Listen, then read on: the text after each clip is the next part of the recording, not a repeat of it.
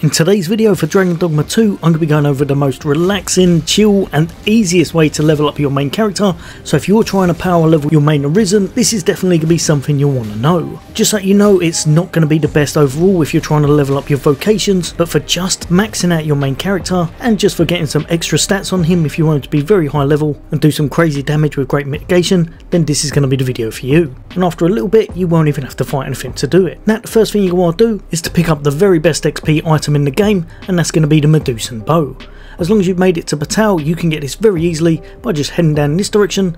and then just making your way just up to around about here. You'll know you're in the right location when you see two trees crossed against the cave, and inside here you'll be able to fight the Medusa that you saw at the very start of the game. Take them out and you're going to be rewarded, hopefully with a Medusa head. If you're not sure how to get that, then I've got a video that I'll link top right but the main thing you're after for this video is going to be the Medusan bow, which rewards you with around about 4 times experience every single time you finish off a target while it's equipped. This is absolutely essential and we're going to be using it in a way that I've not really seen done before. So this time rather than going out, venturing, taking on baddies, you're going to make it back to the town of Melve and if you've not been there for a while you may want to port stone back to Vernworth and then take an ox cart from there all the way back there. But once you're at Melve we're going to be able to start our very easy XP farm. Remember, just up at the top of Melve is going to be a little tower, but it's also got one of those really nice crossbows on it, the one that actually does some damage, not the rubbish ones, so we're going to head just up that way, in order to make it all the way to the top of the tower, and then jump on the crossbow we said. So here we are on it, you're going to want to rotate it until you can see this big old tree just here,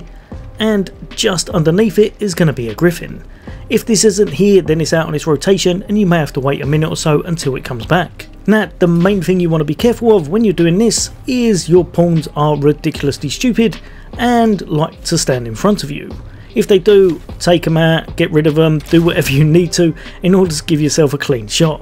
Now the cool thing about this, you can take this griffin out in literally just a couple of shots which is absolutely amazing because we've got that thing on our back it's going to give you 4 times XP and now you're getting around about 32,000 XP every single time you knock one of these over. Also if you manage to get a perfect shot on it and hit it directly on the head first time then you're going to get an insta kill on it and it will give you the XP straight away. Now every time you've defeated the griffin you're going to want to bop just downstairs,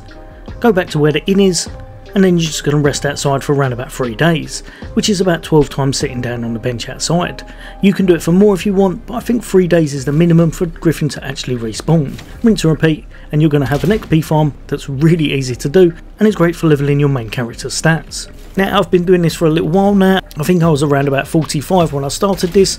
and when I've ended up doing it, I'd actually realised that I'd gone up to around about 53.